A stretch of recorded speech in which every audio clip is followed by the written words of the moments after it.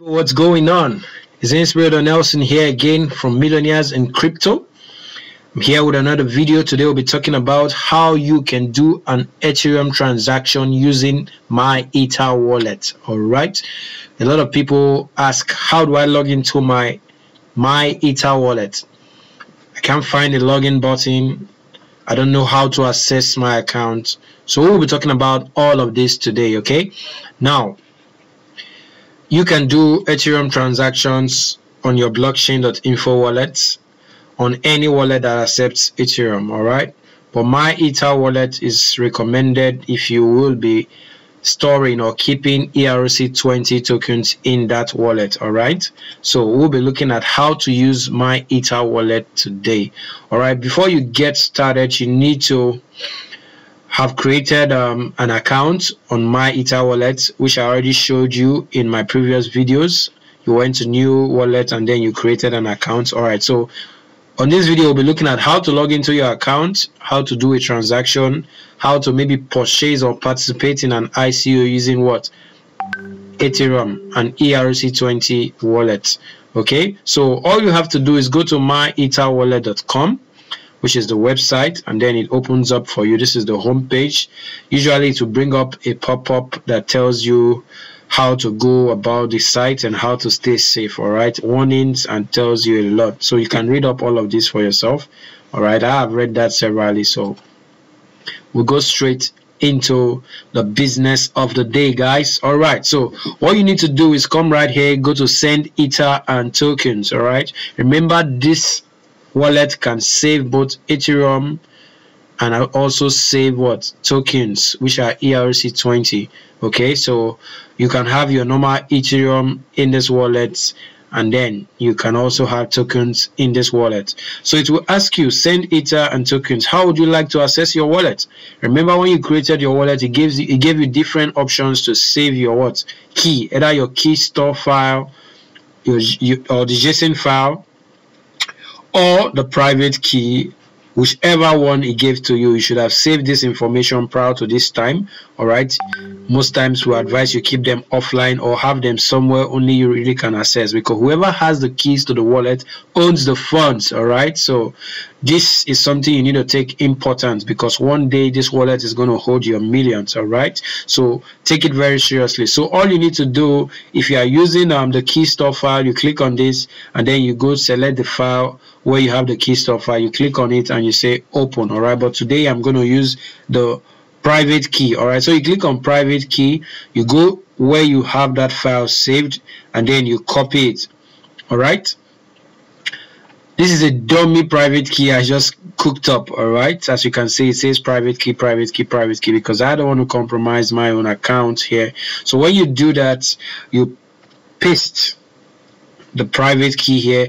And if that private key is valid it's going to bring up a little pop-up box here a blue pop-up box that says unlock. So you click on unlock boom and you get access into your wallet. So you have all of your funds seated gorgeously in that wallet.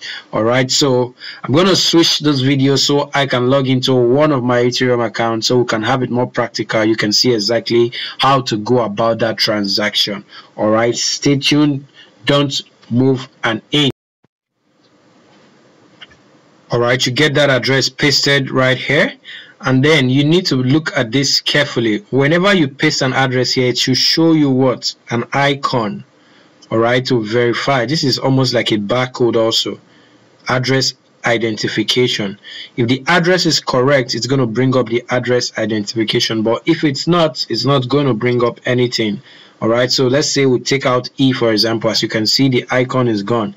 Even if we decide to put another figure s or something it won't go through because even if the number of characters are correct it doesn't mean it's actually a correct wallet. So we'll go back to the correct address and then it shows us the address identification. So always look out for this okay? As you can see this is same with what i have here because it's my address have pasted here all right so amount to amount to send. You have to choose what you're transferring. Remember i told you this wallet can hold both ETH and then can hold tokens okay? So you leave it at eth if you are sending it. If you are sending tokens maybe you want to send token to someone you can choose the token you you want here and then send okay? Now if you're participating in an ICO you need to know the specifications for you to be able to send in your payment correctly all right? Many of them will give you the payment specifications and they will tell you the gas limit to use. Most times if you are sending tokens you need more gas all right? Because tokens are heavy all right so you need to know exactly what you are sending. If you are sending tokens you need more gas. Okay so the gas limit might be adjusted right here and then also the gas price. Now this here has a drop down menu that makes you choose what you want as your gas price okay? As you can see here the transaction fee is equals to gas price times what? The gas limit which we saw here. Okay so some icos will tell you use a, a gas limit of 100,000 some will tell you 200,000 and then if it's a time-based ico which means the tokens can be sold out any moment people are getting in to buy and you don't want to miss out increase your gas price right here so that you bring it to the fast it's going to cost you more to send it to transport your money over there but it's going to get there fast with the speed of light pretty fast if you use the 60 GWEI okay? But if you are sending just normal transactions ETH you're sending to a friend you want to do something that's not time based you can leave it at 21 which is the default.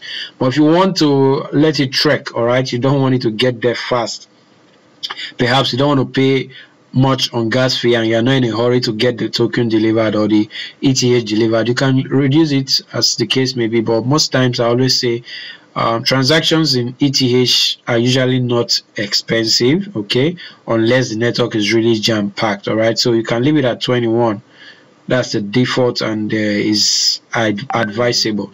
So you can leave it at 21 GWEI. All right, so you put the amount you want to send. For example, I put 0.03 ETH. Okay, now if you see this thing pop up, most times it gives you an exception error if what you are doing has an issue all right now i've put in this address right now and then i put the amount i want to send most times it might be that the gas limit is too small especially if you are sending to an ICO, a smart contract, okay? It might be that the gas fee is too much. The gas limit is too small rather. So you might need to increase it. So for example, you might need to take it to 100,000. Let's see if it's going to still pop up that error.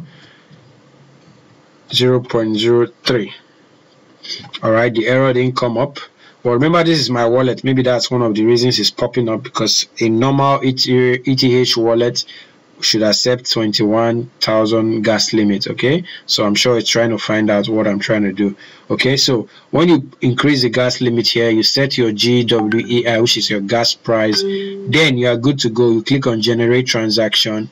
It's going to ask you are you sure you want to make this transaction okay? And then it says send transaction. And then to give you a final pop-up to ask you you're about to send this amount of ETH to this wallet. Are you sure and you say yes I am sure. That's over. It's going to send. If all the parameters are correct the funds will be sent to that account. But if it's not correct it's going to give you an error. It's going to fail. The transaction will fail. But they might also have charged you your gas fee all right? Because it took gas to actually try to send and deliver that transaction. So this is how you actually send tokens or send ETH using your MyEther wallet. Okay, so if you are sending tokens it's almost the same. All you have to do is choose the token you are sending here. And then if you are adding tokens you just bought tokens they're not yet reflecting in your wallet. You want to see them right? Just like you have 500 return have 15 L 150 lpx lots of tokens okay? I will show you how to add custom tokens in your wallet all right? So stay tuned for my next video. I'll be sharing with you how to add custom wallet custom tokens to your wallet. It's inspirator nelson here from millionaires in crypto. Thank you for joining us on this beautiful exciting journey to crypto millionaires all right? If you have not subscribed to our channel feel free do yourself a favor. Click on the subscribe button and then turn on the notification. There's a little bell beside the subscribe button. All you have to do is click on it once all right and then you are subscribed to the channel with our notifications which means whenever we come up with a new video guess what you'll be first to know. All right, so thank you. Subscribe to my channel. Follow us on this journey to millionairehood. God bless you. I'll see you in my next video. Until then, stay safe.